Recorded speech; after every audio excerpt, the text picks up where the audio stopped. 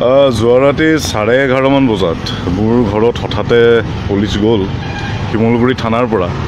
আৰু তাৰ আগতে আমাৰ বহু সতীৰ্থক আচলতে বিচাৰি ফুৰিছিলে পুলিচে। আৰু বহুকেইজন সতীৰ্থক আমাৰ ৰাইজৰ দলৰ সম্পাদকক অলৰেডি মই গ্ৰেপ্তাৰ হোৱাৰ আগতেই ডিটেইন কৰি আনিছিলে দিচাংমুখৰ পৰা।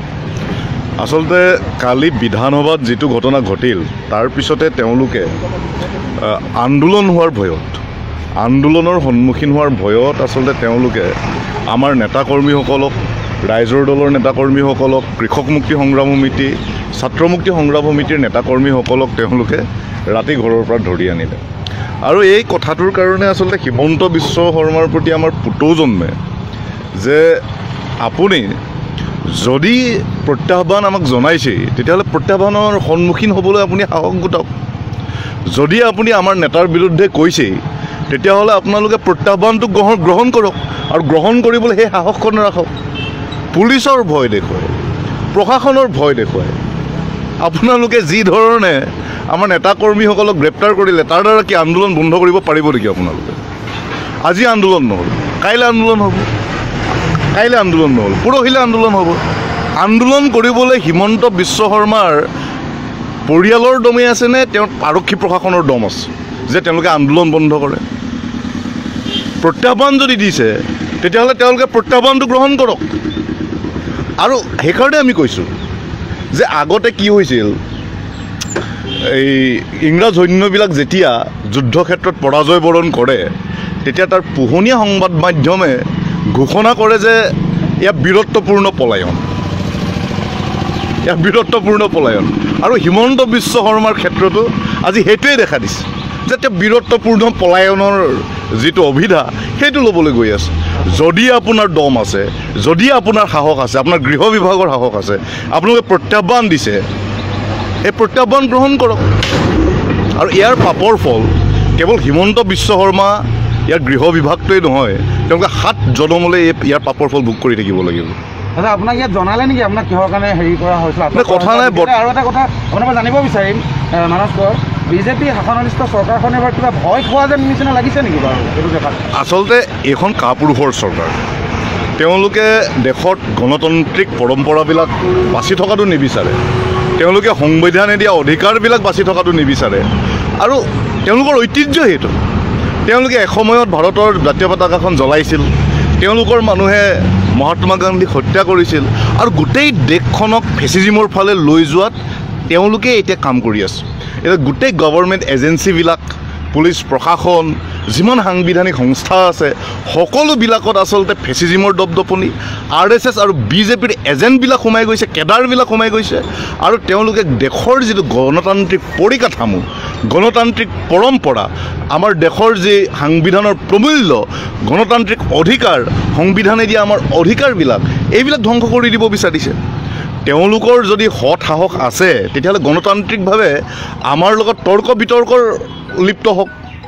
না তেওঁলোকে তৰ্ক বিতৰ্কত লিপ্ত হয় না তেওঁলোকে মানে আমাৰ লগত যুক্তি তৰ্কত লিপ্ত হয়। তেওঁলোকে এজ কালি আপোনালোকে দেখিলে আমাৰ নেতা অখিল গগৈক তেওঁলোকে জেলত বন্দী কৰি বিধানসভাত হিমন্ত ভীমৰ বচন মাতি আছে। ভীমৰ বচন মাতিছে। এই যে কথাবিলাক কামবিলাক কৰে এয়া কাপুৰুষৰ লক্ষণ যদি আপোনালোকৰ সাহস বা দমটো আছে আমি চেলেঞ্জ কৰিছোঁ আপোনালোকক। অখিল গগৈ নালাগে। আমাৰ লগত আপোনালোকে যিকোনো বিষয়ত যিকোনো স্থানত যিকোনো ৰাজহুৱা স্থানত তৰ্ক বিতৰ্কত লিপ্ত হওক। হিমন্ত বিশ্ব শৰ্মাৰ দম চাওঁ। হিমন্ত বিশ্ব শৰ্মাৰ দম চাওঁ। তেওঁ প্ৰশাসনৰ দম চাওঁ। আজি তেওঁলোকে যি ধৰণে আমাৰ কৰ্মীবিলাকৰ ওপৰত অত্যাচাৰবিলাক নমাই আনিছে নিপীড়ন নমাই আনিছে এয়া আচলতে গণতন্ত্ৰৰ কাৰণে বিৰাট ভয়ংকৰ কথা। আন্দোলন কৰিব বুলি ভয়ত ৰাতি নিৰ্দোষী ডেকা ল'ৰাবিলাকক কেৱল আজি মোকেই নহয় শিৱসাগৰৰ অন্যান্য সংগঠনৰ যথেষ্ট কৰ্মীক কালি এৰেষ্ট কৰিছে। আন্দোলনৰ সন্মুখীন হ'ব। এয়া কেনেকুৱা ধৰণৰ কাপুৰুষালি? আচলতে এয়া কোনো এখন চৰকাৰ কোনো এটা দলৰ ক্ষেত্ৰত শোভা নাপায়। আচলতে হিমন্ত বিশ্ব শৰ্মালৈ আমাৰ এতিয়া পুতৌ জন্মিছে যে আপুনি আৰু চৰকাৰখন চলাওক ভালকৈ কিন্তু এই ধৰণৰ কাপুৰুষালীবিলাকৰ প্ৰমাণ বাৰম্বাৰ দি নাথাকিব। যদি দম আৰু সাহস আছে আপুনি আহক আপুনি প্ৰত্যাহ্বান দিছে আমি প্ৰত্যাহ্বান গ্ৰহণ কৰিছোঁ।